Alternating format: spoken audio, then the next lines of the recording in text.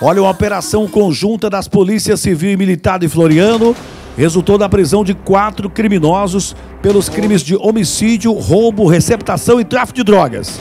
Tony Black traz a informação. Na tela do pancadão, na tela do campeão, a Rocha. O delegado geral do interior é o delegado Célio Benício.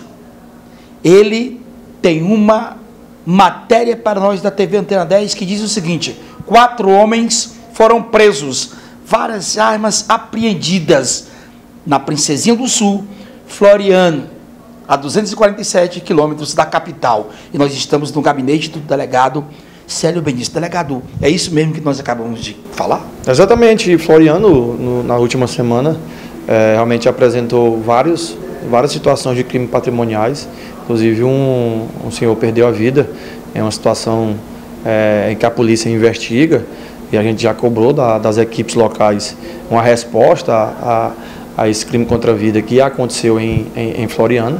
Ação conjunta da Força Tática do 3 Batalhão com a Delegacia Seccional, é, capitaneada pelo delegado é, Cláudio, da DEPATRE, é, tiveram ações exitosas, apreenderam muita droga, armas de fogo, quatro indivíduos tirados de circulação. As ações em Floriano continuam, tá?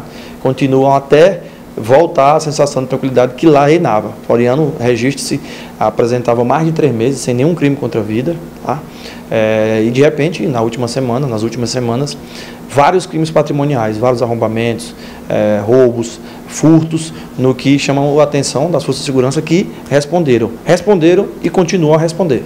Agora, delegado, esse trabalho lá naquela região está sendo feito em conjunto, polícia militar, polícia civil, as forças estão unidas ali naquela região? É a determinação, a política é, de trabalho do nosso secretário de segurança, a integração das forças. É, de pronto, determinamos que o nosso delegado seccional reunisse, se encontrasse pessoalmente com o comandante do batalhão de Floriano, para que, trabalhando, unido, somando forças, unindo forças, o resultado sai. E como ontem, prisões e apreensões significativas. E claro que o trabalho vai continuar. Vai continuar, semana que vem mais ações em Floriano, certo? Vamos realmente saturar aquela região para dar àquela população a tranquilidade que ela merece. A entrevista com o delegado Célio Benício, o homem que coordena todo o interior do estado do Piauí na Polícia Civil do nosso estado na lente. Então, na tela da TV Antena.